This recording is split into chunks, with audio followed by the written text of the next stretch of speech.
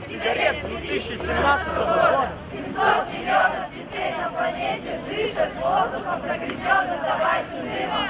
Мы живем без табака. Каждые 6 минут на планете От табака умирает один человек. Сегодня было празднование Всемирного дня без табака и празднование новых страшилок, нового набора, который появится у нас э, с ноября 2017 года, следующего года, но он появится уже в пяти странах таможенного союза. Он появится в Армении, там не было страшилок, в Белоруссии там не было страшилок, появится в Кыргызстане, сейчас там наши казахстанские страшилки, появятся э, в России и в Казахстане, само собой.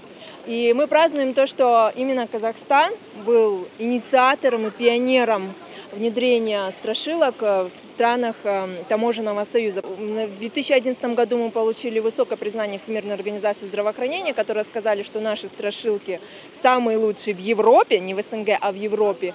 И, в общем, благодаря нашему опыту теперь эти страшилки появятся в пяти странах и 160 миллионов человек могут увидеть, на каково страшно и опасно курение.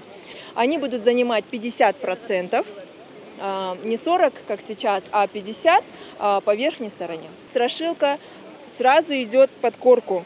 Когда человек покупает пачку, он видит сначала страшилку.